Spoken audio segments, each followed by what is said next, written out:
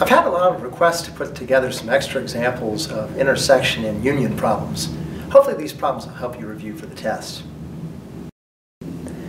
I'm doing the example problems from the book. This is all on page 7 in section 1.1. This is problem 5. Uh, let's take a look at problem 5, part A. This is the intersection of segment AB and segment BC. You can see that intersection symbol there. Remember what that means. That means the, the overlap between those two segments, anywhere where those two segments cross each other. Um, and so all I have to do here is trace segment AB, and I can trace all along its length, and I can go back and I can trace segment BC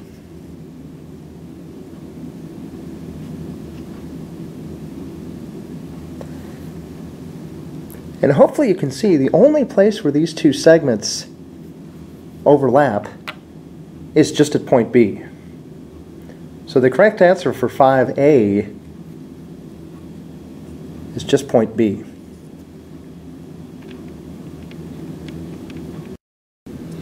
Let's take a look at part B.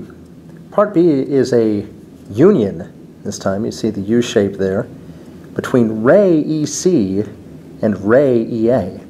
Remember, the union contains all points from either one of those rays.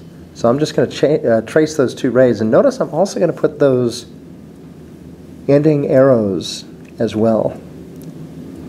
So here is EC. It continues out. You see I've got the arrow there. EA is going in this direction. And uh, two possibilities. I can call this angle AEC, or that's also a line. So I could call it any possible naming for that line. Um, for example, I could call it line AE. So because it's a straight angle and a line, it can be named either possibility, but that's the union. Right, moving on to part C, you'll see that it is the intersection, got the upside down U, between line AC and line DB. So I'm going to go in I'm going to trace those two lines. Remember the intersection is wherever they overlap. So we go in and we trace line AC and again notice that I'm going to trace all the way along here and I'm going to put the arrows at the end to show that this can continue on infinitely should that make a difference in my final answer. Okay, uh, I'm going to go back now after doing AC. I'm going to do line DB. Remember we're looking for where those two things intersect each other. And you can see here, we're only double coloring in this one spot here. Correct answer should be that the intersection is point E. Time to move on to part D. In part D, you'll see we have the intersection of segment DC with segment AB. And remember, the intersection is going to be the overlap of those two segments. But if you take a look here, DC is right here,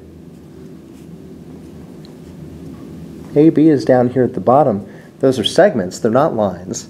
Uh, they appear to be parallel. We don't know that they're parallel, but in this case it doesn't matter. They don't overlap anywhere. Uh, means there's no solution. There is no intersection.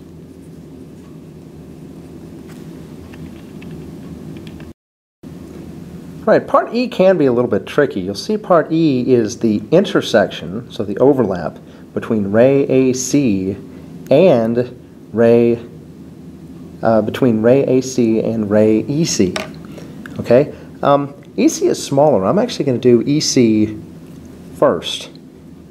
Okay, and keep in mind it's a ray, so I have to have that arrow at the end so I don't accidentally leave just a segment. Okay, so that's my first. And now I'm going to go back and I'm going to do ray AC. Okay, notice AC starts out at A, goes along, it's not overlapping the green, not overlapping the green, and suddenly, starting at point E, it's overlapping the green all the way along here. And remember, it's a ray, so it's going to continue to overlap the green onto infinity. So you can see my double coloring here starts at E, it goes out through C, it continues on infinitely. Uh, as a result, my final overlap, my final intersection is that entire ray EC. Starts at E, goes out to C. All right, we're moving on to 5F now. 5F is the union of ray BA with ray BC. Keep in mind the union unites. It combines everything together that's included as part of either. So let's take a look at this. BA starts at B, goes out to A, and remember, you want to extend it past there. It's got that arrow going on forever. Um, BC starts at B, goes out to C. Again, you've got that arrow there continuing on forever. You can see that what I drew there is an angle. It's angle ABC, or you could call it angle CBA. You don't want to call it angle B because you've got multiple angle B's there at vertex B. So we'll call that angle ABC.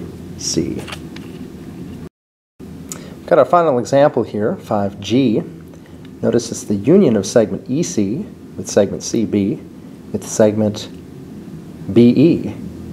Remember that the union involves every point on any of those. So you can see that I go in and I can trace segment EC. I can trace CB. And I can trace segment BE. Final shape here that I've traced, again, the union uniting everything, is a triangle. And we would name that triangle any combination of those points ECB one possible answer.